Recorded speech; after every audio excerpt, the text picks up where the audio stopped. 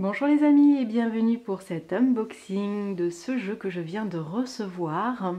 Peut-être que ce petit logo vous dira quelque chose. En tout cas c'est un jeu que j'attendais impatiemment parce que j'ai vraiment eu un gros gros coup de cœur pour lui. Allez on le déballe tout de suite ensemble. On a des petites chips. Alors ici on a la facture, hein, je vais... Hop, voilà.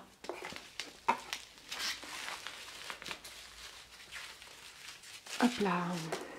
Donc, il s'agit, mesdames et messieurs, sous vos yeux ébahis, du... Je vais le pousser. Je vais pas y arriver, la blague.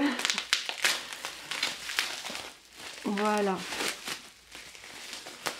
Du Dark Mansion Tarot. Voilà, alors ici vous avez plusieurs versions hein, en Dark Mansion. Vous avez une version euh, régulière, regular version, qui est celle-ci. Et vous avez euh, la boîte de luxe où, elle où, ce jeu arrive dans un coffret en bois avec des, mm, un boîtier, euh, des cartes pardon, qui sont beaucoup plus grandes.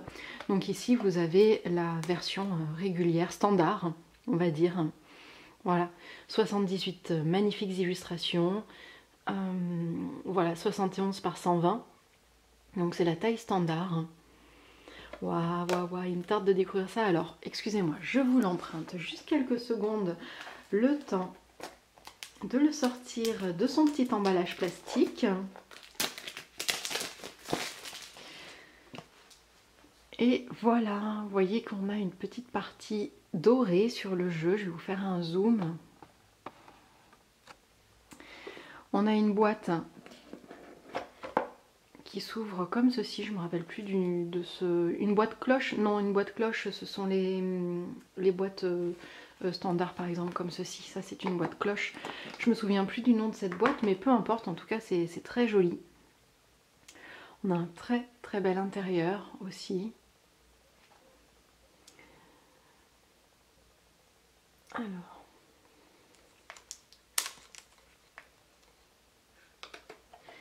des illustrations de Magdalena Axan.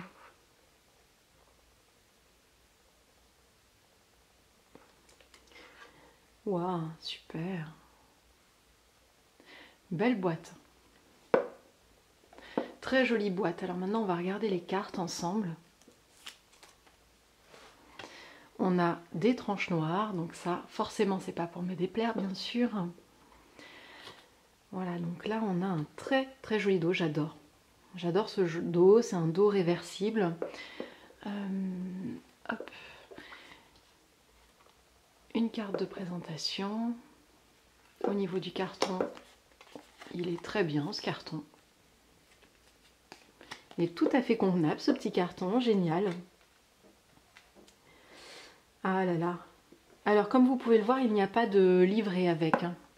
Voilà, c'est du coup pour ceux qui ne connaissent pas les tarots, il vaudrait mieux partir sur un jeu avec un livret ou vous faire accompagner d'un livre en plus du jeu.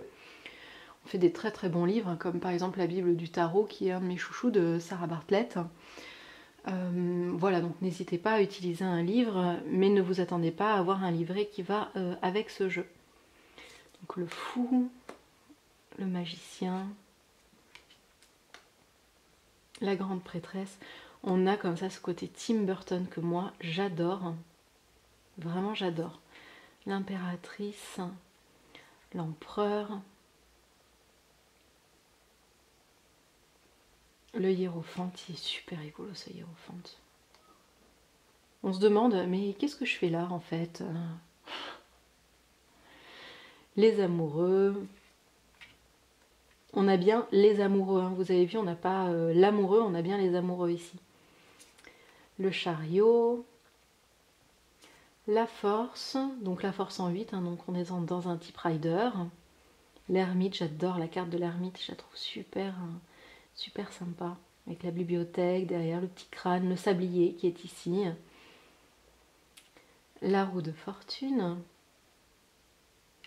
la justice, le pendu, le vampire pendu, la mort qui semble bien s'ennuyer, la tempérance, toute mimi, le diable, qui est ici une diablesse, c'est sympa. La tour, l'étoile, la lune, le soleil,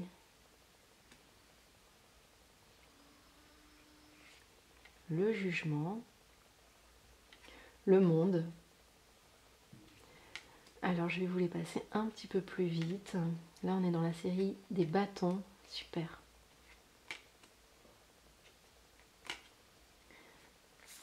Me top de voir les personnages de cours parce qu'en fait je les ai pas encore vus.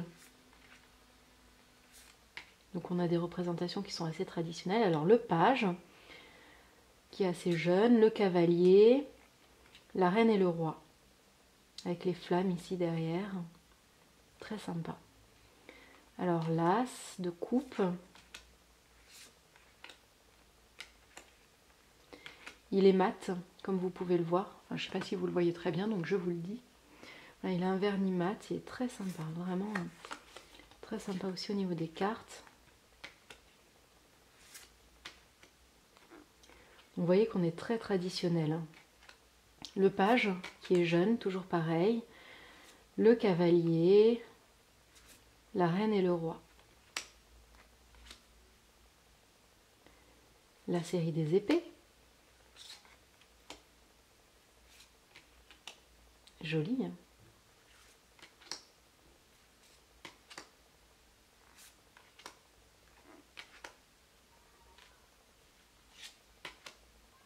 J'adore. Avec les dents en épée, super.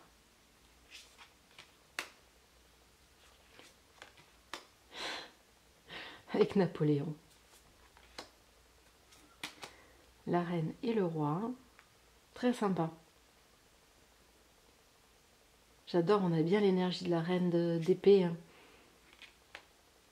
Alors, l'as de pentacle, le 2, la série des pentacles. Elle est géniale celle-ci aussi, je la trouve euh, vraiment bien faite. Le 6, le 7 avec le jardinier qui prend soin. Le 8, le 9, le 10 avec toute la famille autour. Le page, le cavalier, la reine et le roi. Super, oh pardon, je vous ai fait bouger. Oh, génial, vraiment, vraiment génial, j'adore. J'adore, j'adore ce jeu. Euh, je trouve ça très sympa. Le contour est vraiment très sympa.